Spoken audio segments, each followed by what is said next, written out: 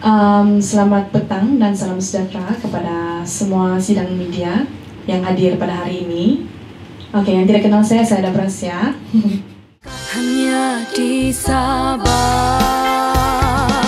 Kalau kau suka melancong di Sabah, di Sabah. Kalau kau suka. Jadi saya percaya dengan uh, penganjuran konser yang julung-julung kalinya dibuat ini kan, um, saya percaya dapat memberi impak yang sangat besar dan positif kepada industri seni tempatan, terutamanya kepada penyanyi-penyanyi tempatan. Nah, jadi bila dong nampak saya buat nih, maksudnya dorang pun ada inisiatif untuk membuat karya yang lebih berkualiti uh, dan bila sudah ada banyak lagu dan dorang pun boleh buat konser.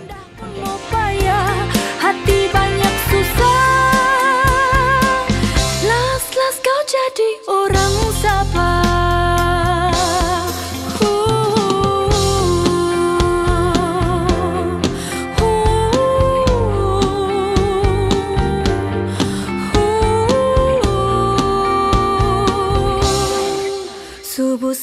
So, konsep ini sebenarnya dia melibatkan beberapa penghibur dalam skala yang besar.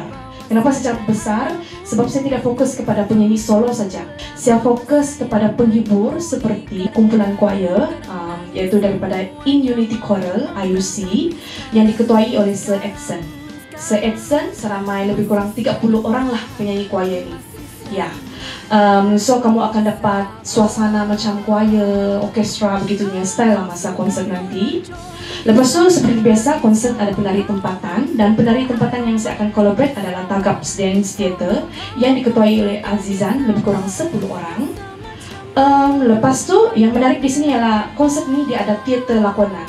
Teater lakonan adalah daripada pertubuhan produksi, teater dan pengurusan kesenian Sabah yang diketuai oleh Sir Syafiq lebih kurang dalam 10 orang juga.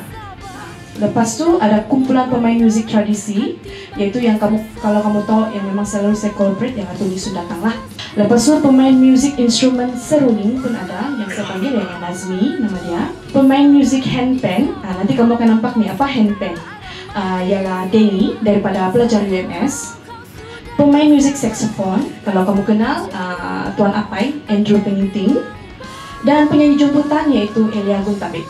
Kau jadi orang sabar